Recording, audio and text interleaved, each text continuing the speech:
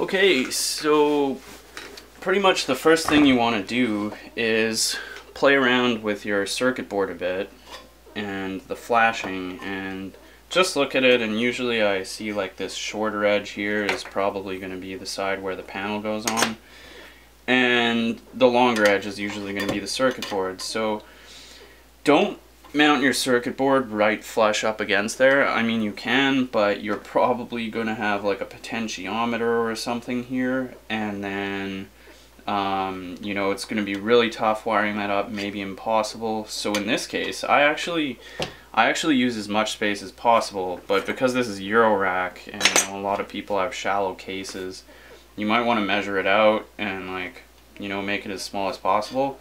But for this one, I don't like wiring really cramped, so me personally, I'm going to make it pretty deep because my case is deep. So up next, it's really easy. You just kind of sit your board there and go, okay, yeah, I want to be this wide.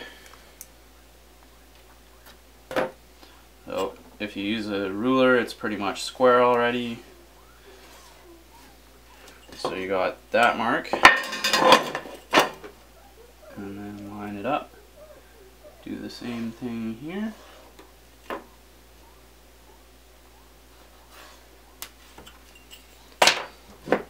And cut through that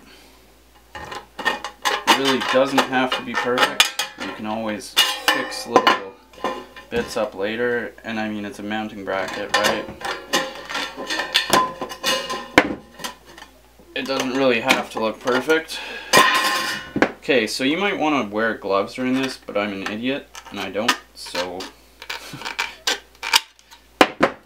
yeah, like, uh, the edge here can cut you really easily. I've learned that the hard way a few times. Alright, so got that done.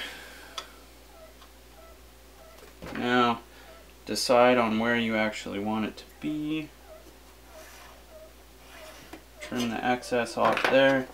Like, I, am doing this very quickly because the these steps are kind of obvious. Um, but if you have any questions, feel free to ask. But this is just something that you're to intuitively pick up over time. It's a pretty quick process. Okay, so now that that's there, the next step would be to actually mark out the holes for the circuit board. This is real easy. You just hold the board nice and tight against here.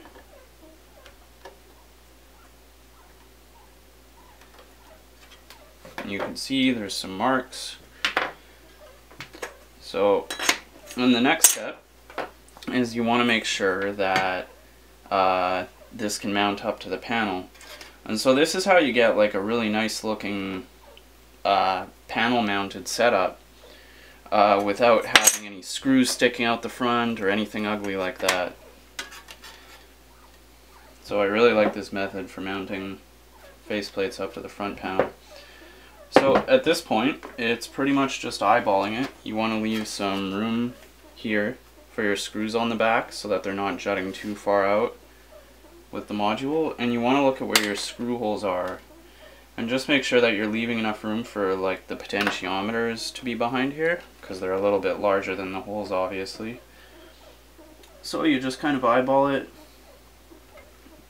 You can use a ruler if you want.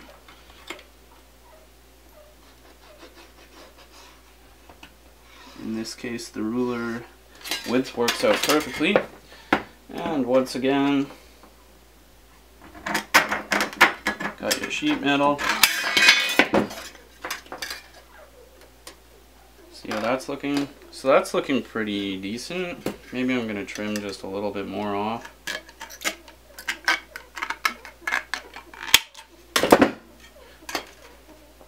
Okay. Yes, that's good. Uh, the only thing I can see being a problem is the jacks down here. Uh, if you had a longer piece of metal, obviously you could just include the jack holes, but in this case, I'm actually just going to cut a little bit in there so that the, it doesn't interfere with the jacks at all. So you're going to have to make some quick decisions.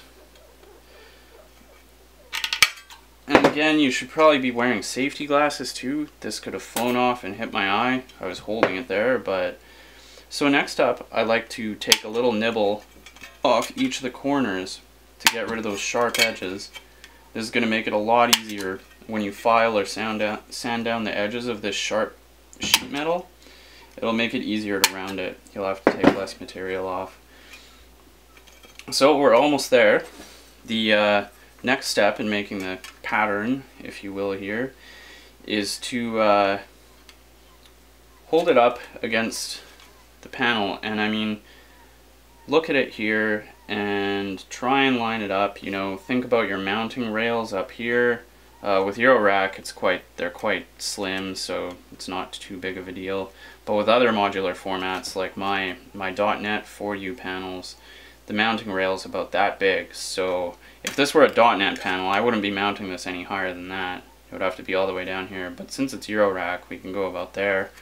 Um, so yeah, find the opportune place here to place it. And this is kind of a tricky maneuver, but just hold it as tightly and as straight as you can. Flip it over and quickly draw quickly draw your mounts there. This Sharpie is dying.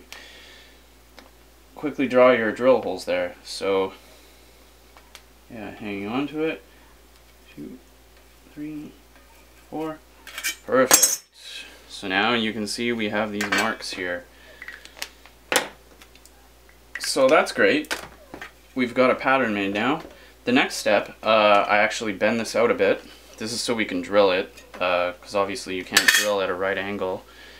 And next up, you grab yourself a scratch awl, use one of these, and a hammer.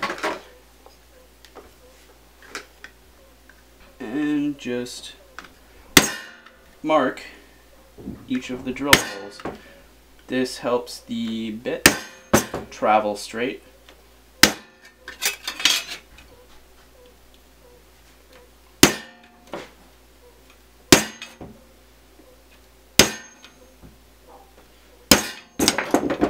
And then you take it to your drill press and drill it. I'm not going to show you how to do that because you should know how to use a drill press. Um, and it's no different than drilling any other material.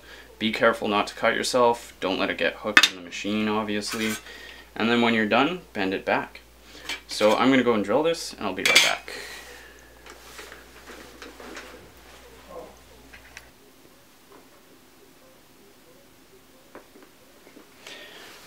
Okay, so I'm back from the drill press here, and as you can see I've drilled up the panel mounting bracket.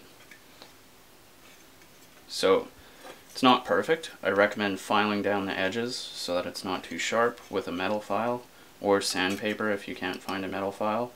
So if you're still a little foggy on how this works, this is how it's going to work. You mount the panel bracket behind the panel like this, and then when you install all of your panel components, like this potentiometer, you actually wind up mounting up the panel bracket in such a way that you get a fairly sturdy place to mount your circuit board in the end. So once you've installed all four of these, I'd go about soldering in some flying wires to my circuit board so they're all coming out and ready to solder to panel components. And then you just install your circuit board. And that's pretty much it. Uh, that's how you put a module together with flying wires off the circuit board. I use these little standoffs and machine screws. Um, if you can't find these standoffs, you can actually buy a big coil of rubber hose or vinyl hose from Home Depot or any other hardware store and you can cut off little sections of it with a pair of pliers and that works great as standoffs too. I used that before I bought a big bag of these so that's pretty much it. Uh, let me know if you have any questions. Hopefully that explains everything and uh, have fun building.